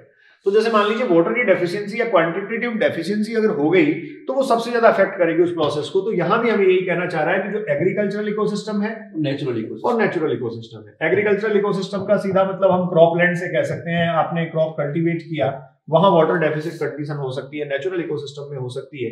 तो ये क्यों है ऐसा? तो देखिए ऑप्शंस में पढ़ रहा हूँ। हाई डिमांड लो रेस्पिरेशन देखिए डिमांड हाई है यहाँ तक तो ठीक हो सकता है लेकिन रेस्पिरेटरी प्रोसेस से इसका रिलेशन नहीं है। फिर कह रहा है हाई डिमांड हाई ट्रांसपिरेशन ये हाई ट्रांसपिरेशन जो रेट है हमने भी बात की थी सर मैक्सिमम मतलब 98 से 99 परसेंट तक जो है वो इवापोरेट करवा दिया जाता है। तो ओबीएस है मैक्सिमम ट्रांसपिरेशन में एटमोस्फेयर में रिलीज़ कर दिया जाता है तो डेफिसिट होने की पॉसिबिलिटी बन रही है। इसके बाद आगे देख लेते हैं low transpiration high absorption transpiration low अगर होगा ना तो एब्जॉर्प्शन हाई हो ही नहीं सकता। क्योंकि हाई ट्रांसपिरेशन जो है वो ही हाई एब्जॉर्प्शन को प्रमोट करता है। फिर लिखा है sir low absorption high photosynthesis तो हमारे पास यहाँ परफेक्ट आंसर जो है वो क्या हो जाएगा? सेकंड और ये कॉन्सेप्ट हम डिस्कस कर चुके हैं? आपने बताया था अप्रोक्स टू परसेंट जो वोटर है वही यूटिलाइज हाँ, होता है। मैक्सिमम वोटर जो है वो ट्रांसपिरेशन के फॉर्म में बाहर रिलीज़ हो जाता है एटमोस्फेयर में रिलीज़ हो जाता है। The correct statement regarding the mechanism of food translocation तो देखिए फ़ूड ट्रांसलोकेशन को जो बल्क मूवमेंट है उसको हम पढ़ रहे हैं फ़ूड ट्रांसलोकेशन शुगर ट्रांसलोकेशन आप पढ़ते हैं। ये कह रहा है it occurs in the form of the polysaccharide ये सर हम सारी बातें क्लियर कर चुके हैं। पॉलीसेकेराइड स्टार्च है उसके फॉर्म में ये नहीं जाएगा ये सुक्रोज के फॉर्म में ही जाता है। It always form leaves to from leaves to roots leaves to roots तो जाता है बट यहाँ लिखा ऑलवेज और हमने डिस्कस किया था कि सिंक वेरिएबल होते हैं। प्लांट में उसके बाद देखिए कह रहा है it require expenditure of energy when translocate between source and sink never source से सिंक में जाएगा तो एनर्जी रिक्वायर नहीं करता अकॉर्डिंग टू द ग्रेडियंट जाता है। सर आपने बताया था वाटर पोटेंशियल ग्रेडियंट या प्रेशर ग्रेडियंट बनता है। बिल्कुल। तो इस तरीके से ये प्रोसेस पैसिव होनी चाहिए और पैसिव है इसका मतलब। और ये सिंक हो गया। तो ये वाला जो ये प्रोसेस बता रहा है यहाँ जो बल्क ट्रांसपोर्ट हो रहा है विद इन तो ये वाला जो है energy independent according to the pressure gradient बिल्कुल। तो इस तरीके से ये जो थर्ड है it require expenditure of energy when translocate between source से सिंक इनकरेक्ट हो जाएगा। फिर कह रहे हैं the companion cells provide energy during the loading of the sieve cells ये बिल्कुल ठीक है क्योंकि देखिए सर सीव सेल्स जो हैं वो न्यूक्लियस की प्रेजेंस शो नहीं करती। तो जो कॉम्पेनियन सेल्स है वही एक्टिविटी उसकी अल्टीमेटली रेगुलेट करती है। तो जो कंडक्शन के लिए एनर्जी प्रोवाइड करवा रही है वो कौन करवा रही है? कंपेनियन तो यही अपन बता सकते हैं कि लोडिंग और जो अनलोडिंग है हाँ, ये तो होती है एक्टिव प्रोसेस एंड अनलोडिंग जैसा सर लिख रहे हैं ये एनर्जी डिपेंडेंट है। But the bulk transport energy independent independent ये पैसिव प्रोसेस होगा from the high gradient region to low gradient और वो जो सर ने लिखा है loading and unloading loading always source पे होगी और अनलोडिंग ऑलवेज सिंक पे होगी। ये दोनों ही प्रोसेस एक्टिव होती है। क्लियर है? Next thirty water and minerals absorb by roots are transported by तो ट्रांसपोर्ट किसके थ्रू किए जाते हैं? जाइलम के थ्रू किए जाते हैं। फिर कह रहा है and the organic material synthesise in the source always source में ये होता है और सोर्स आप जानते हैं बच्चों प्लांट में बेसिकली या मेन सोर्स जो है वो लीव्स ही है। तो लीव्स के ही ऑप्शन में हमें मिल जाएगा जाइलम के बाद ये सब थर्ड ऑप्शन में other part of the plant through and transported to the other part of the plant through C आप लिखा है फ्लोइम फ्लोएम जो है वो फ़ूड ट्रांसलोकेशन या सुगर ट्रांसलोकेशन रिप्रेजेंट करता है तो हमारे पास इसका करेक्ट आंसर हो जाएगा third third next the process of the guttation takes place इस बार सब गटेशन से एग्ज़ाम में क्वेश्चन पूछा गया गटेशन क्या है? आप कह सकते हैं जो प्लांट ऑर्गन्स है उन प्लांट ऑर्गन्स में जैसे लीफ की हम बात करें तो अर्ली मॉर्निंग और आपने लेट नाइट लेट इवनिंग में देखा होगा बच्चों वहाँ ड्रॉपलेट्स वाटर ड्रॉपलेट्स जो हैं वो हाइड्रेट थॉट्स के थ्रू रिलीज़ होती है। ठीक है? और ये जो गटेड वाटर है, ये इम्प्योर होता है बिकॉज़ रूट प्रेशर के इन्फ्लुएंस में ये बाहर आता है। ट्रांसपिरेशन में रिलीज़ होने वाला वाटर ऑलवेज प्योर वाटर होगा और ये जो है वो इम्प्योर होगा। तो ड्रॉपलेट्स के फॉर्म में जो वाटर बाहर यहाँ आ रहा है, ये under the influence of root pressure आ रहा है और ये आपको अर्ली मॉर्निंग में मिलेगा, आपको लेट इवनिंग या लेट नाइट में मिलेगा। तो यहाँ क्वेश्चन में हमें पूछा गया था process guttation takes place when the root pressure is high and the rate of transpiration is low definitely. Rate of transpiration होगा नहीं उस टाइम में तो। कंडीशनली आपने बताया मॉर्निंग टाइम में जो है हाँ मॉर्निंग टाइम में। इस बार एग्ज़ाम का क्वेश्चन था ये। फिर उसके बाद पूछा गया when the root pressure is low and the rate of the transpiration is high root pressure के इन्फ्लुएंस में जब हो रहा है तो डेफिनेटली रूट प्रेशर वहाँ हाई होना चाहिए। तो हमारे पास करेक्ट ऑप्शन जो है वो फ़र्स्ट ही यहाँ मिल जाता है। फिर फर्दर डिस्कस करने की ज़रूरत नहीं है। 32 uh, which one may be helpful to re-establish the continuous chain of water in xylem under or after the transpiration tension? तो देखो सर ये हम तो क्लियर कर चुके हैं पहले से। असेंट ऑफ़ सेप में अपवर्ड मोमेंट में ट्रांसफ़र हो रहा था और लीव्स जो है उनसे वाटर आउटसाइड एटमोस्फेयर में रिलीज़ हो रहा था। तो एक ट्रांसपिरेशन पुल यहाँ क्रिएट हो रहा था। एक नेगेटिव टेंशन जो है वो जाइलम कॉलम में क्रिएट हो रहा था।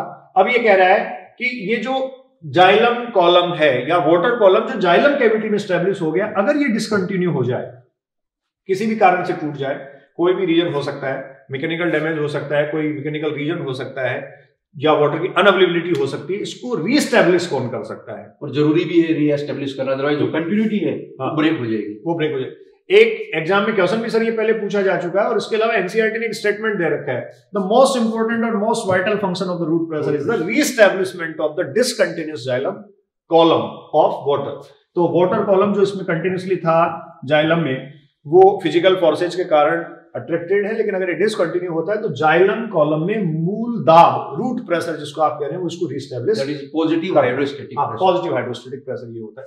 तो देखो दो दो चीज़ें काम करती हैं। सर ने जो बताया यहाँ पुश करना है तो पॉजिटिव हाइड्रोस्टेटिक प्रेशर और पुल करना है। तो नेगेटिव तो negative transpiration pull clear next 33 the sugar are actively moving into a cell. What will happen to the turgor pressure of the cell?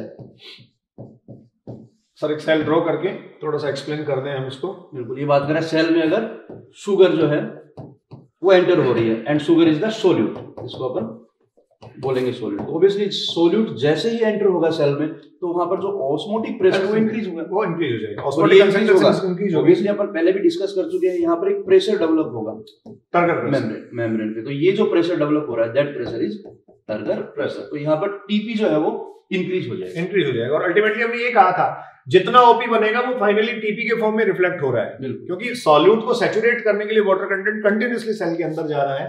तो इस तरीके से ऑप्शन हम पढ़ ले हम TP increase due to the entry of water सही बात लिखी है। टीपी इंक्रीज हो जाएगा फिर कह रहा है टीपी डिक्रीज बिल्कुल नहीं होगा। TP increase as sugar concentration affects it directly directly TP के बजाय वो ओपी को अफेक्ट करती ओपी को अफेक्ट करती है। तो स्टूडेंट्स आंसर हमारे पास हो जाएगा। Second sorry first first TP increase due to the entry of water next 34 find wrong feature with reference to plasma membrane तो देखिए सेल बायोलॉजी में हमने काफ़ी डिटेल में इसके स्ट्रक्चर और फ़ंक्शन को डिस्कस किया था। ये कह रहा है sugar moiety toward cytosol region बिल्कुल ये अपन डिस्कस किया था डायग्राम से भी ये जो इसकी फॉस्फोलिपिड बाइलेयर है। बाइलेयर है इसमें जो शुगर मोइटीज होती है वो प्रेजेंट होती है लिपिड और प्रोटीन के साथ। ग्लाइकोलिपिड ग्लाइकोप्रोटीन के और वो होंगी आउटसाइड आउटसाइड एसिमेट्री होने का एसिमेट्रिकल होने का एक रीजन ये भी है। बिल्कुल। फिर कह रहा है फोस्फोग्लिसराइड्स डेफिनेटली फोस्फोग्लिसराइड्स होते हैं। ये फोस्फोग्लिसराइड जो है प्रेजेंट है हाँ हमने बार बार बात की है। फोस्फोलिपिड्स फोस्फोग्लिसराइड ग्लिसराइड ओरिजिनेटिव ही है डेरिवेटिव ही इसलिए फोस्फोग्लिसराइड्स आप इनको कह देंगे। एसिमेट्रिक नेचर डेफिनेटली होगी। Quasi fluid nature of protein enables lateral movement of lipid within the overall bilipid layer बिल्कुल यहाँ इंपॉर्टेंट है ये प्रोटीन की वजह से हो जाएगा क्योंकि जो फ्लूइड नेचर है वो होती है लिपिड की just because of the lipid ठीक है? तो ये डी इनकरेक्ट हो जाएगा। ए बी और सी यहाँ क्या है? करेक्ट जो ए स्टेटमेंट है यहाँ पर थोड़ा उन्होंने ये देखो sugar moiety towards the cytosol region तो यहाँ इनकरेक्ट हो जाएगा क्योंकि उन्होंने टुवार्ड्स बोथ मेंशन okay. कर दिया। हाँ इसमें टुवार्ड्स मेंशन किया स्टूडेंट्स फेसिंग जो है ना सुगर मोइटी डेफिनेटली है टुवार्ड साइटोसोल रीजन तो इनसाइड मोइटी नहीं होगी वो। इस केस में अब आपके पास ए और D D statements are incorrect and A और D and C statements are correct हो जाएँगे। Okay next one transpiration pull depends on transpiration pull किस पे डिपेंड करता है? तो ट्रांसपीरेशन पुल देखिए depend exactly rate of transpiration पे कर रहा है। जितना वाटर रिलीज़ होगा, उतना ही पुलिंग फोर्स जो है वो इंक्रीज हो जाएगा। Adhesion of water molecules to the wall of the phloem देखिए फ्लोएम का कोई रिलेशन यहाँ है नहीं है। सर एक कॉलम में अगर हम इनको बताना चाहें, ये वाटर मॉलिक्यूल्स हैं। इन वाटर मॉलिक्यूल्स में जो अट्रैक्टिंग फोर्स है, वो आप कह सकते हैं कोहेशन और जाइलम कैविटी के साथ इसका एडहेशन इस तरीके से। सरफेस टेंशन ओवरऑल जो क्रिएट हो रहा है यहाँ उसके अकॉर्डिंग ये अपवर्ड मोमेंट में जा रहा है। अब ट्रांसपिरेशन पुल जो है वो इसको आप कह सकते हैं कैश कर रहा है एक तरीके से। जो ये फोर्सेज यहाँ जनरेट हो रहे हैं फ़िज़िकल फोर्सेज को कैश कर रहा है ट्रांसपिरेशन पुल और उसके थ्रू वो ट्रांसपिरेशन करवा रहा है। तो फिर ये कह रहा है adhesive water molecules due to the wall of phloem incorrect हो गया। फिर कह रहा है कैपिलरिटी कैपिलरिटी के कारण ऊपर की तरफ़ अपवर्ड मोमेंट में हो जा रहा है। फिर कह रहा है वेरी नेगेटिव प्रेशर ऑफ़ हाँ very negative water potential of the atmosphere definitely water potential atmosphere का वेरी नेगेटिव है इसका मतलब ये हुआ कि वहाँ ड्राई कंडीशन है या ड्राउट वाली कंडीशन है। ड्राई और ड्राउट कंडीशन में मैक्सिमम वाटर ट्रांसपायर होता है। तो ट्रांसपिरेशन जितना ज़्यादा होगा उतना ही आप कह सकते हैं क्या होगा? ट्रांसपिरेशन फुल जनरेट होगा। तो इस तरीके से हमारे पास ये आंसर मिल जाता है। लास्ट ऑप्शन और पढ़ लेते हैं। Cohesion of the water molecules to each other cohesion water molecules का एक दूसरे के साथ जो है उनको जोड़े रखेगा। जाइलम कैविटी में वाटर मॉलिक्यूल्स की कंटिन्यूटी को बनाए रखेगा। क्लियर तो इस तरीके से ये आपके पास क्वेश्चन नंबर जो 35 है उसका परफेक्ट आंसर है आपके पास। Very negative water potential of the atmosphere so so students हमने आज आपके साथ प्लांट फिजियोलॉजी फ़र्स्ट का जो गुरु नीति का एपिसोड है, वो डिस्कस किया। 35 क्वेश्चंस इसमें थे और हमने कोशिश करी कि जितने सारे कॉन्सेप्ट्स हैं लॉजिक्स हैं इन्फॉर्मेशन हैं, ये सब यहाँ पुट कर दी जाए। प्रीवियस ईयर एग्ज़ाम क्वेश्चंस की जो कनेक्टिविटी थी, वो भी हमने यहाँ डिस्कस की है। ठीक है? इसके बाद अगले एपिसोड में हम मिनरल न्यूट्रिशन जो सेकंड चैप्टर है फिजियोलॉजी का, उसको इंक्लूड करेंगे। हर एक एपिसोड में, जैसा मैं पहले आपको बता चुका हूँ हर एक एपिसोड में एक चैप्टर हम इंक्लूड करते चले जाएँगे। बिल्कुल और जितने भी कॉन्सेप्ट थे चैप्टर के वो अपने सारे कवर कर लिए। कोई भी टॉपिक से क्वेश्चन नहीं छोड़ा हाँ। तो ऑलमोस्ट जो है सारे कॉन्सेप्ट आपको प्रोवाइड करवा दिए। लेकिन एक बार थोड़ा सा इनको वापस से कहना चाहूँगा कि रिवाइज ज़रूर करें। रिवाइज एनसीईआरटी आप पढ़ते रहे स्टेटमेंट पे आप जाएँ स्टेटमेंट हर एक एनालाइज करें और उसके साथ साथ इसको आप पढ़ते रहे। So enjoy the plant physiology enjoy the botany thank you